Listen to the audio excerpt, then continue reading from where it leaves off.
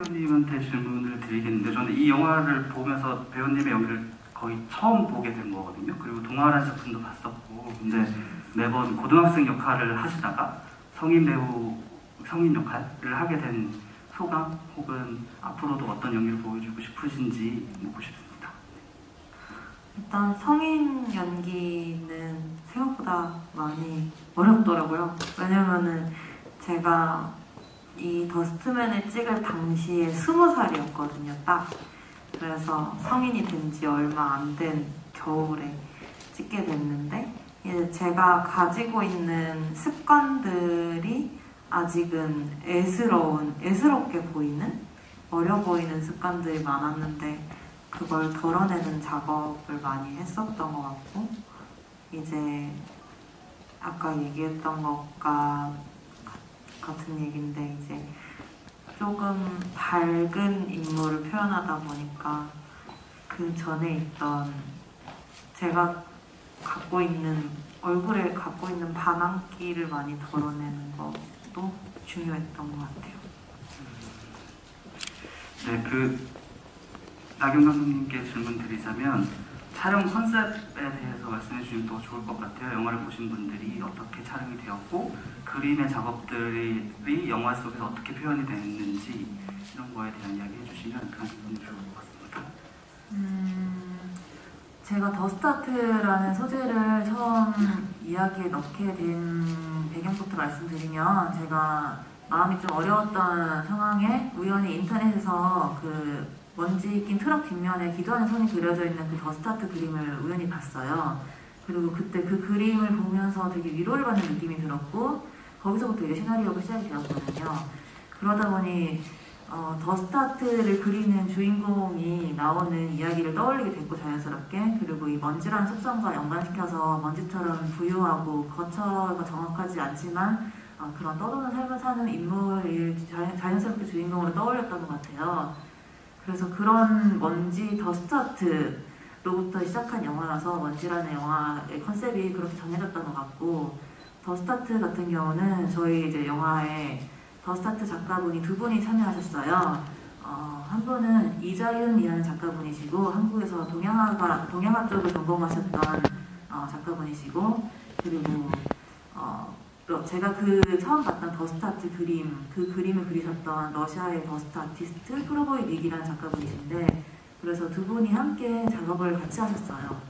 그래서 처음에는 뭐 어떤 그림을 그릴지부터 같이 결정을 하고 그 스케치들을 주고받으면서 수정을 해 나가고 그리고 그 그림을 이제 현장에서 그림을 그리고 네 그리고 또 배우분들이 그려야 하는 부분들도 상당 부분 있었기 때문에 그 부분에 대해서도 이 그림을 이런 식으로 그리면은 먼지 위에 좀 더 효과적으로 보일 거예요 라고 하시면서 배우분들께 지도해 주시기도 하셨고 네 그렇게 그림을 작업했던 것 같습니다. 네. 다음은 우지현 배우님 그 카톡방에 그 영화와는 관계 없는 이야기지만 수염, 지지, 지지를 키우지 말아줬으면 좋겠다라는 이야기가 있었고요. 그리고 더불어 얘기하자면 더티, 더티 섹시, 클린 섹시라고 불렸다고 하던데 그 인터뷰를 통해서 봤다고 합니다.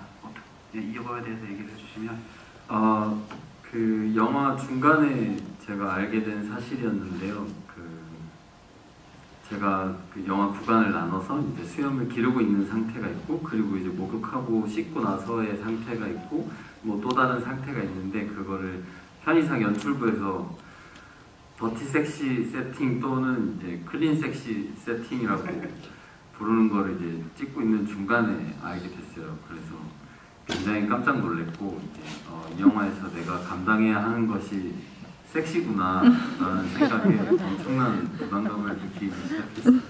네, 그리고 신달기 배우랑 어떤 애칭이 있으셨는지 여쭤봤는데 두 분이 애칭이 있으셨는지 어? 그 달기 배우님이랑 도준 배우님은 그 도준이랑 뭐하라고 아, 아니 근데 그 당시 촬영장에 찡을 엄청 많이 불렀어요 찡을 누가 그랬는지 모르겠는데 도준 찡, 달기 찡, 뭐 완찡 이렇게 많이 했었습니다 네, 앞으로 강기루 배우의 매니저 할 사람님께서 질문해 주셨는데 음악과 VFX가 적절하게 퇴사하는 심리를 잘 드러낸 듯합니다. 감독님의 소감은요? 이렇게 질문해 주셨습니다. 아, 질문이 없네요. 매니저를 하실 분인데 네, 그렇습니다. 아, 네, 음악과 VFX에 정말 공을 많이 들였던 분인데 또 말씀해 주셔서 일단 너무 감사드리고요. 음악은 조현영 음악 감독님이시라고 저랑 단편 영화 같이 작업했던 감독님이랑 이번에 처음으로 장편 같이 하게 됐는데 예, 말씀하신 것처럼 태산이라는 인물이 워낙에 표정이 없고 또 말수도 적다 보니까 그 감정이 밖으로 드러나는 게 어, 캡처하기가 쉽지 않겠다라는 생각을 했었던 것 같아요. 그래서 음악 감독님께 비록 이 장면이 논리적으로는 납득이 안 될 수 있더라도 감정적으로는 납득이 됐으면 좋겠다라고 말씀을 드리고 그 태산의 감정을 최대한 이해할 수 있는 면 안에서 어, 그 영화의 음악을 부탁드렸던 것 같고요. 그리고 VFX 같은 경우는 어, 트러스트 스튜디오라는 곳에서 저희 무상으로 협찬을 해주셨어요. 너무 감사한 일이죠. 네, 그래서 먼지 particle 같은 거 하나하나 이렇게 날려서 하는 VFX가 정말 쉽지 않다고 알고 있는데 되게 공들여서 수정도 여러 번 해서 그렇게 작업해 주셨습니다. 네, 우리 강기로 회원님 말하고 싶으시죠? 그, 어, 그러니까 어쨌든 발달장애에 인에 대한 연기를 하셨어야 되는 부담감이 있으셨을 테고, 그리고 개인적으로 마지막에 그, 어, 주준이란 배우 이 어, 캐릭터가 홀로 떠난단 말이죠. 이후에 어떤 삶을 살았을 것 같으신지를 또 물어보고 싶습니다.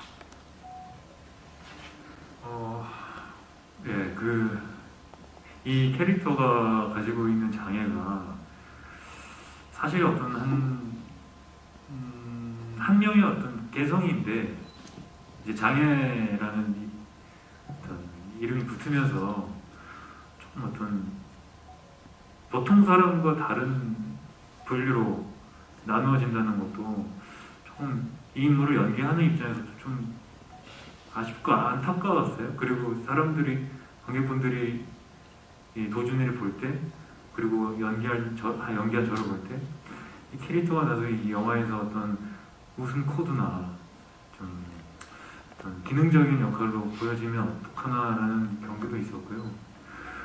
근데 중요한 건 제가 이 인물을 어떻게 생각하느냐가 제일 처음 음, 거쳐야 되는 어, 과정이었고 보는 사람이 어쨌든 저는 진심이어야 한다고 생각을 했어요. 그래서 어, 준비를 하면서도 그 이 캐릭터 감독님이 갖고 계시던 갖고, 갖고 계셨던 명확한 reference가 있었는데요. 다큐멘터리에 나와 있는 한 인물이었는데 그 인물을 볼수록 처음에는 물론 이제 어떤 장애 정도나 이런 것들을 좀 설정하려고 참고서만 봤는데 이 인물 자체가 너무 사랑스럽고 좋은 에너지를 주변 사람들한테 풍기는 거예요. 그래서 그 부분을 도준이에게 가져가야겠다고 생각을 했어요. 예, 그래서 제 나름 음, 제 나름 자유롭게 연기를 해야 되기 때문에 어, 말씀드린 것처럼 제가 진심으로 이 캐릭터를 좋아하고 받아들이는 거에 초점을 맞춰서 준비를 했던 것 같습니다. 네, 앞으로 강기로 배우 매니저 할 사람께서 바꾸기 하고 싶다고 말씀해주셨는데 어, 신나게 질문을 하고요. 그, 네, 그, 제- 제가 지금 물어보면 당연히. 부끄러워서 말씀 못 하실 테니 네네. 네, 네, 이해해 주십시오. DM을 주시면 밥한끼할수 있을 것 아, 같습니다. 그래요? 축하드립니다. 네, 그